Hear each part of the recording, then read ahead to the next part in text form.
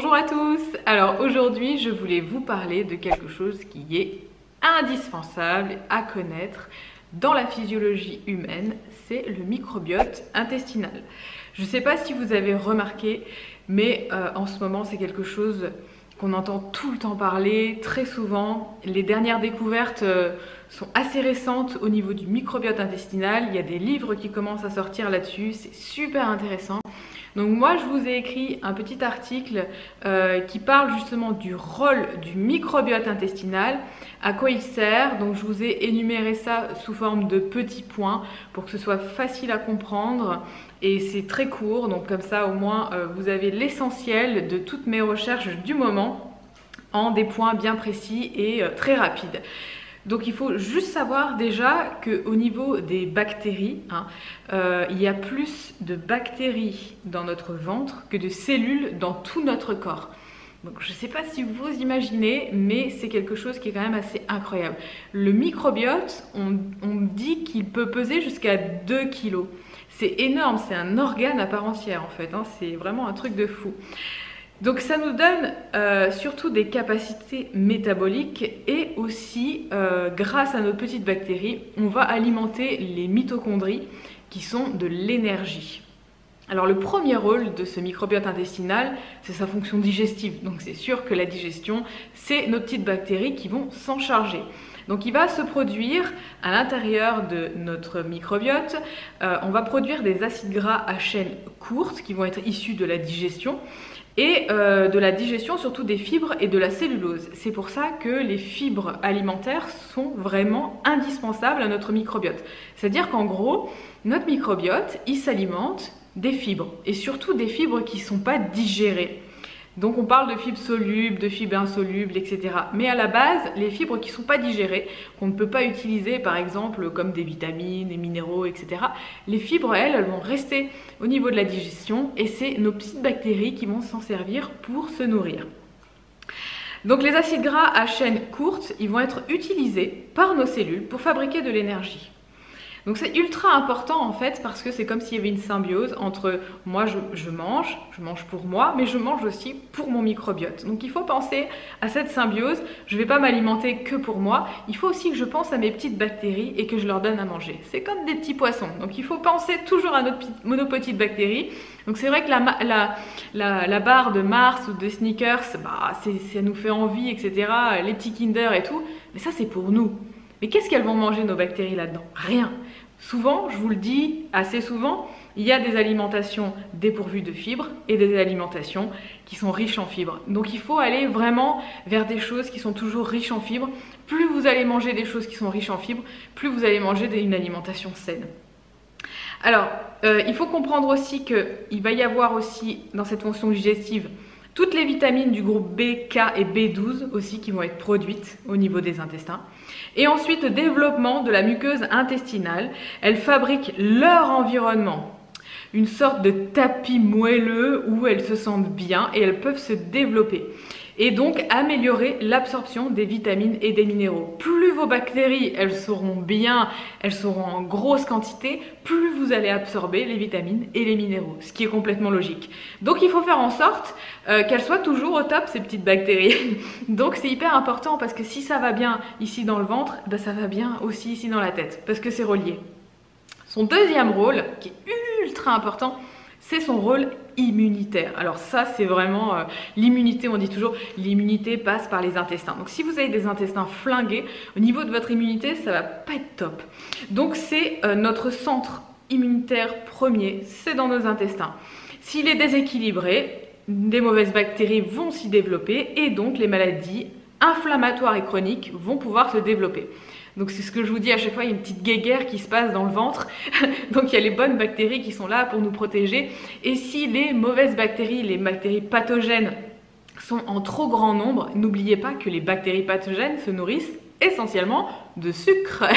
voilà, c'est leur nourriture première. Elles adorent ça. Donc plus vous allez manger du sucre et plus vous allez nourrir votre flore pathogène et plus votre flore bénéfique va s'appauvrir et donc bah forcément au niveau de l'immunité, ça va pas être top du top. Ensuite, son troisième rôle, ça va être au niveau métabolique. Et c'est ce qu'on va, on va entendre souvent, euh, c'est... Euh, voilà, c'est des maladies de civilisation, c'est des maladies euh, métaboliques. Et toutes ces maladies justement métaboliques, ça va être tout ce qui va être développement du diabète, euh, de l'obésité, etc. Donc ce rôle métabolique, c'est hyper important de le comprendre aussi. Si tout est déséquilibré, eh ben, le métabolisme euh, est déséquilibré lui aussi dans son ensemble, et donc ce qui va provoquer tous ces types de maladies. Donc plus ça va être équilibré, plus le métabolisme va être équilibré. Quatrième rôle, ça va être aussi au niveau des maladies neurodégénératives. Alors, euh, il faut comprendre que tout ce qui va être anxiété, dépression, Alzheimer, Parkinson, schizophrénie, etc., c'est lié principalement à un déséquilibre de votre biote intestinale. Donc si ça va pas bien dans votre ventre, eh ben vous allez avoir beaucoup plus de soucis, de dépression, euh, d'anxiété, de stress, etc. Donc ça c'est hyper important d'avoir une bonne hygiène de vie pour pouvoir avoir un bon biote intestinal. Alors nous sommes vraiment, ce que je vous disais, hein, on est vraiment au début euh, de, de, toutes ces recherches ou toutes ces études sur le microbiote. Il y a eu d'ailleurs une émission qui est passée il n'y a pas longtemps avec Adriana Carambeu. J'ai vraiment adoré cette émission. Je vous invite à aller la regarder si elle est en replay, je ne sais pas. Mais euh, en tout cas, il y a des nouvelles découvertes à chaque fois. Chaque jour, il y a des nouvelles avancées. On fait des tests aussi. Euh, ça permet aussi d'avoir certaines avancées, de comprendre comment fonctionne le microbiote. Donc on a injecté des microbiotes sains à des souris obèses et on s'est aperçu en fait que grâce à ça, eh ben, les souris euh, qui étaient obèses maigrissaient. Donc on, voit aussi que le microbiote des personnes obèses est complètement différent d'un microbiote d'une personne qui est fine, en bonne santé, etc. il faut aussi comprendre qu'il y a des recherches au niveau des maladies et parfois il y a certaines bactéries qui disparaissent de notre microbiote et ça c'est souvent dû à la prise répétée de médicaments, d'antibiotiques, de stress, de mauvaise alimentation, de mauvaise hygiène de vie, qui vont détruire en fait une partie du microbiote, ce qu'on appelle, parce que notre microbiote, il est peuplé de bactéries, mais il y a plusieurs sortes et plusieurs souches de bactéries. Elles sont toutes différentes, elles prolifèrent à l'intérieur, et il y en a certaines qui disparaissent aussi avec l'âge. Et c'est pour ça qu'on parle maintenant de transplantation fécale. Et je trouve ça vraiment assez hallucinant. C'est vrai qu'il existe maintenant des banques de caca. Donc quand j'ai vu ça, euh, j'étais vraiment euh, entre la limite euh, à être outrée et puis à me dire mais quand même c'est quelque chose d'assez phénoménal. Donc aujourd'hui on va pouvoir transplanter nos cacas à d'autres personnes. Donc je sais que dit comme ça, ça peut paraître un peu bizarre, mais ça peut sauver des vies, ça peut sauver des personnes qui n'ont plus certaines bactéries dans leur microbiote et du coup de les injecter euh, de nouveau d'un sujet sain à un sujet malade peut faire repeupler euh, en fait le microbiote de cette personne qui est euh, en souffrance. Donc voilà, c'était vraiment pour vous parler un petit peu de toute cette avancée au niveau du microbiote. Et donc ils se sont aperçus que grâce à ça, bah, bien sûr, on pouvait prévenir énormément de maladies aujourd'hui. Donc moi, je suis toujours à la pointe des nouvelles recherches, des nouvelles choses qui se passent sur le microbiote parce que je pense qu'on est encore vraiment au tout début, on ne sait pas grand chose, on, essaye de comprendre un petit peu comment on fonctionne.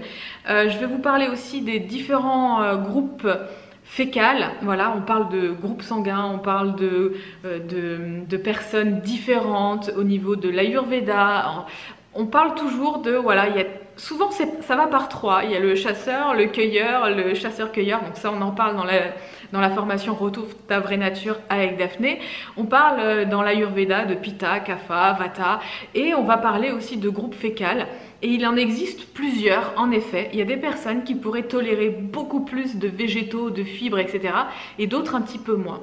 Donc parmi tout ça, il y a aussi les groupes sanguins. Donc il y a quatre groupes sanguins, etc donc on est vraiment euh, un puzzle, c'est ce que je dis à chaque fois. Et là par rapport à, tout ça, euh, on a fait euh, une petite école, on est une dizaine par mois. Donc si vous êtes intéressé par ce protocole, c'est super génial de, venir avec nous parce qu'on vous explique tout.